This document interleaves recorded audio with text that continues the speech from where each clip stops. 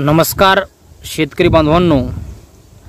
तसेच सर्व शेतकरी बांधवांचे मनापासून स्वागत आहे गावाकडची माहिती या यूट्यूब चॅनलवर शेतकरी बांधवांनो आज आपण पाहणार आहोत की आले पिकातील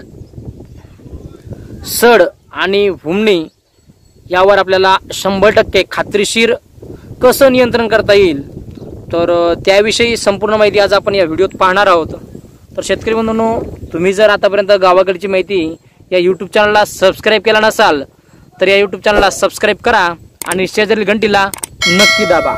तर शेतकरी बंधूंनो यावर्षी खूपच जास्त प्रमाणात हुमणी आळी आणि सडीचा प्रादुर्भाव हा जास्त दिसून येत आहे शक्यतो प्रत्येक प्लॉटवरती हुमणी आळी आणि सड हा रोग दिसून येत आहे. तर यावर्षी पाऊस खूप पडला आणि पावसामुळे सड लागलेली आहे आणि त्यात जी हुमणी आहे ती पण खूप जास्त प्रमाणात निर्माण झालेली आहे. तर शेतकरी बांधवांनो सडीचा जो प्रादुर्भाव आहे तर तो हुमणीमुळे सुद्धा सळ लागते आणि या वातावरणात बदल झाले की सुद्धा आपल्या पिकात सळ लागते.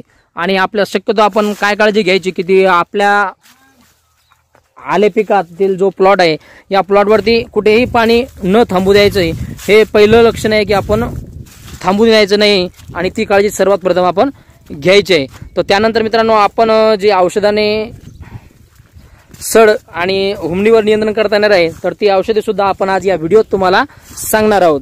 तर शेतकरी बंधूंनो जर आपल्या प्लॉटवरती आळी ही जास्त प्रमाणात दिसून येत असेल आणि त्याबरोबर जर आपले आले पिकातील जे कंद आहे. ते स्क्रीनवर तुम्हाला दिसत आहे की त्या पद्धतीनं जर झालेलं असेल तर तो हुमणी पण तिथं राहू शकते आणि ही सड पण लागलेली आहे. तर यावर आपल्याला शंभर टक्के खात्रीशीर जर इलाज करायचं असेल तर त्यासाठी मॅट्रिक्स हे सिस्टेमिक फंगीसाईड आहे मित्रांनो. तर ते आपल्याला अडीचशे ग्रॅम प्रति एकरला सोडायचं आहे. तर तो आहे आंतरप्रावी बुरशीनाशक आणि जो व्हिटॅमॅक्स पॉवर आहे व्हिटॅमॅक्स पॉवर आपल्याला अडीचशे ग्रॅम घ्यायचा आहे तो पण सिस्टेमिक आणि कॉन्टॅक्स फंगिसाईड आहे. तर मित्रांनो हे धनुका कंप धनुका ॲग्रीटेक या कंपनीचं फंगिसाईड बुरशीनाशक आहे मित्रांनो. आणि त्यानंतर जर बघायचं आपल्याला हर्बोक्युअर हे बायो प्रोडक्ट आहे तर हे आपल्याला पाचशे मिली घ्यायचं आहे. तर हे तिघ तिन्ही याचं कॉम्बिनेशन करून जर आपला अद्रक प्लॉटमध्ये प्रति एकरला जर सोडलं तर आपल्याला शंभर टक्के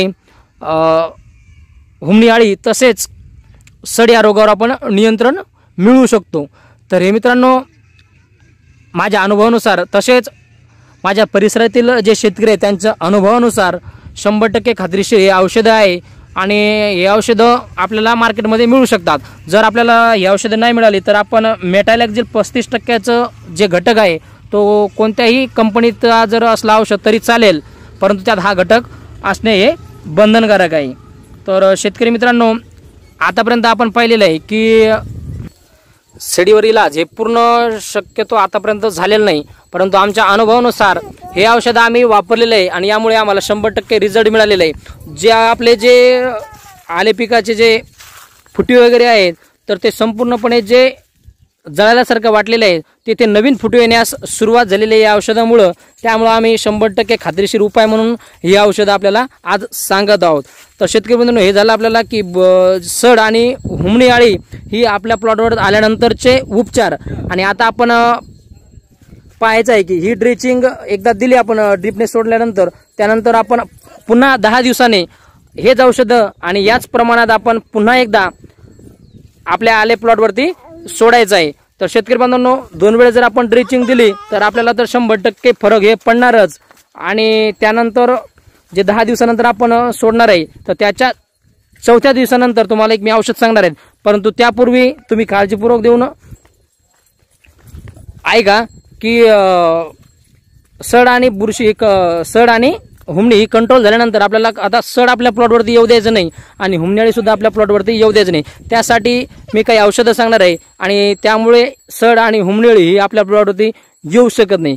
त्यासाठी आपण तर सुडोमोनस एक किलो आणि ट्रायकोडर्मा सुद्धा एक किलो घ्यायचं आहे मित्रांनो. मायकोराईजा शंभर ग्रॅम.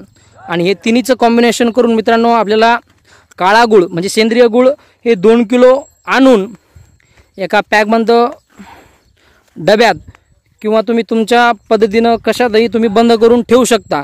त्यात पन्नास लिटर किंवा वीस लिटर आपल्या क्षमतेनुसार आपण पाणी साठवून त्याला भिजू घालायचं आहे आणि ते अठ्ठेचाळीस तास ते बहात्तर तास आपल्याला पूर्णपणे भिजू घालायचं आहे आणि त्यानंतर सकाळ संध्याकाळ दोन वेळेस त्याला ढवळून घ्यायचं आहे पूर्णपणे मिक्स करून घ्यायचं आहे मित्रांनो.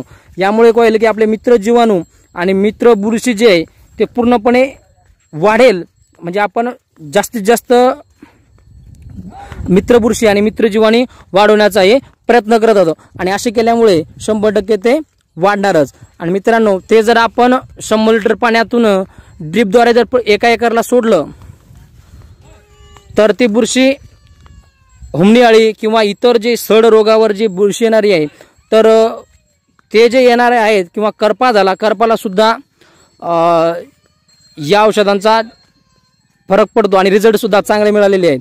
तर हे सोडल्यानंतर आपण त्यापूर्वी चार ते पाच दिवसांनी कोणतंही खते किंवा केमिकल विरहित जे असलेले आहेत समजा केमिकलवाले कोणतेही औषधे ते सोडायचं नाही. आणि यानंतर सुद्धा एक हप्ताभर कोणतेहीच खतं आपल्याला सोडायचे नाही. तर हे केल्यामुळे आपल्या हुमणी आळी आणि सड या रोगावर आपण शंभर टक्के खात्रीशीर इलाज करू शकतो.